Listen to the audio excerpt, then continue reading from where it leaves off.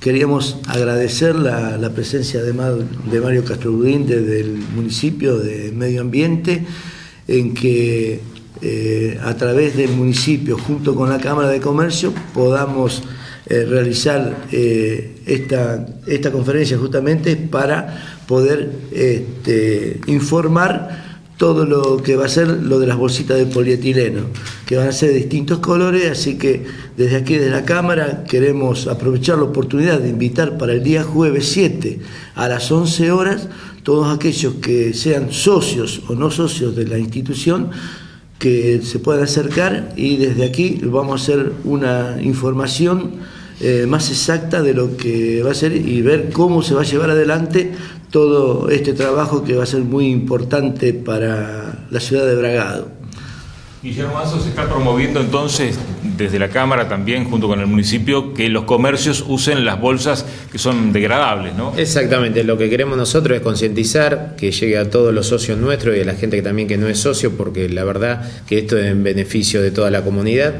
por el tema de las bolsas, por la ley provincial 13.868, queremos que se respete esa ley y bueno, y que todos tomen conciencia, entonces a partir del jueves este 7 de noviembre a las 11 horas, esperamos todos los comerciantes y no comerciantes también que quieran escuchar, que estén interesados eh, en el medio ambiente, a que vengan acá al Salón del CUSI y bueno, y después el resto de, la, de quién va a ser el disertante, cómo va a ser la charla, por ahí el especialista acá del área es Mario Castro Budín, que está más al tanto de todo el tema. Es el director de Medio Ambiente. Mario, este, ¿quién viene a dar esta charla? Bueno, eh, va a venir Oscar de San, que es un director del OPDS, y esto obviamente tiene que ver con el acuerdo, el convenio que, que firmamos y por supuesto Hace días atrás, ustedes recordarán, con la visita del ingeniero Bilbao, comenzamos a tener un, trabajo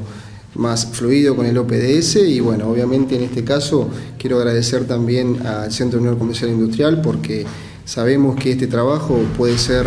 eh, efectivo en tanto en cuanto podamos articular con las instituciones y, aquellos este, empresarios y, comerciantes nucleados en ello que nos permitan ayudar a mejorar un poco la calidad eh, ambiental en el sentido de, en este caso concretamente, de lo que son la utilización de las bolsas biodegradables. No, no solamente estamos pensando en esto, queremos realmente contar con el apoyo del, del CUSI,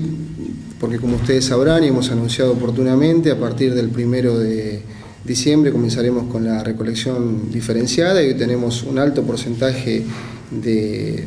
de bolsitas de supermercado, digamos, en la cual mayormente la gente saca la basura y estamos, bueno, queriendo trabajar con, con estas este, con estos, estas cadenas de supermercados fundamentalmente este, para, bueno, que también se pueda hacer en forma diferenciada en cuanto a los colores, ¿no? Así que ¿Qué colores que quieren? Bueno, de acuerdo al, convenio Tu Manzana Recicla que nosotros firmamos con el OPDS, requeriríamos eh, tanto la bolsa verde como la gris. Eh, que obviamente sería un paso muy importante porque esto ayudaría eh, al vecino a, este, realizar la separación en origen.